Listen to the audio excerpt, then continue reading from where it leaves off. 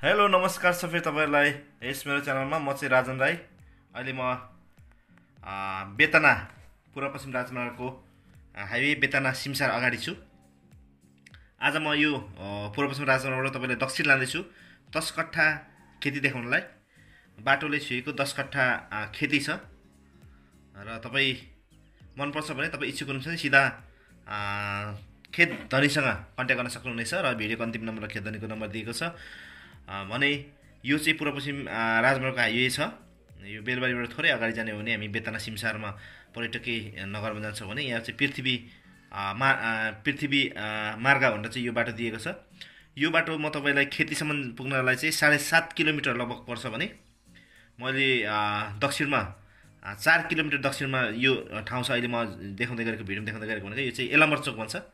एलामर चोकको यो पश्चिम साइड पर्छ भने यतातिर यो चोकको घरहरू हो एलामर चोक चार किलोमिटर बेतनाबाट दक्षिण झरेपछि भने यहाँ तपाईँले देख्नुभयो एलामर चोक। यो चोकबाट यो बाटोबाट अब म पूर्व तपाईँलाई साढे तिन किलोमिटर जति पूर्व लाँदैछु। यो बाटो छ यता पूर्व जाने। सिधै पूर्व जाँदाखेरि पोखरिया भन्ने ठाउँमा बेलबारी उपमहानगरपालिका वार्ड नम्बर नौ।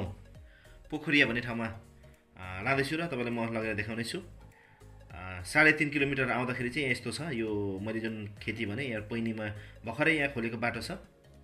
यो बाटोबाट थोरै अगाडिको जग्गा छ र यहाँ चाहिँ बाटो सोह्र फुटे बाटो खोला बनाएको छ भने आसपासमा घरहरू पनि छ र दस कट्ठा जग्गा बिक्रीमा रहेको छ।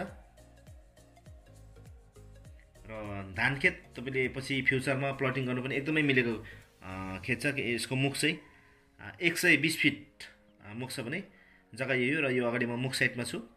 दस कट्ठा खेती यो यो जति पनि यहाँ डोजर लाएर सम्माइएको छ। यो गराएर समाएको छ प्लटिङ गर्ने हिसाबले चाहिँ समाएको छ भने यो ठाउँ यो आलीदेखि सिधै पर हेर्दाखेरि यस्तो छ। अनि यो जति पनि तपाईँले यो नयाँ डोजर लाएर जोतेको देख्नुभयो यो चाहिँ यस्तो छ भने यो बाटो सोह्र फिटे बाटोले यहाँ छुएको छ भने यता चाहिँ पश्चिम साइड पर्छ।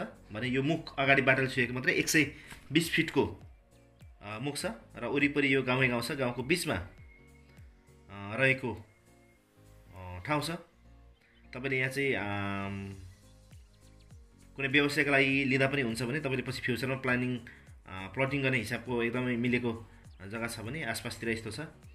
यो अघि यो बाटो चाहिँ ल्याउँदै गरेको बाटो चाहिँ यहाँ थोरै त्यो ठाडो बाटोबाट यहाँ भित्र छिर्नुपर्ने हुन्छ।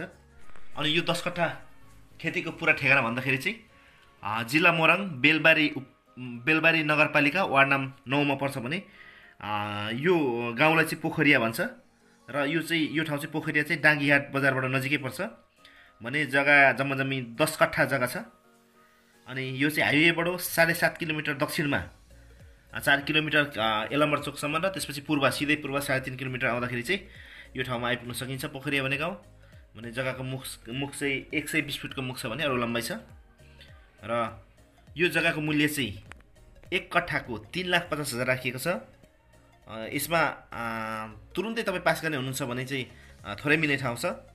र तपाईँले सिधा सम्पर्क चाहिँ यो भिडियोको अन्तिममा दिएको नम्बरमा गर्नुहोला र रेटको विषयमा मिलाएर एकदम मिलेको जग्गा छ लिन सक्नुहुनेछ। एक कट्ठाको तिन लाख पचास हजार बाटोले छुएको खेती छ मिलेको।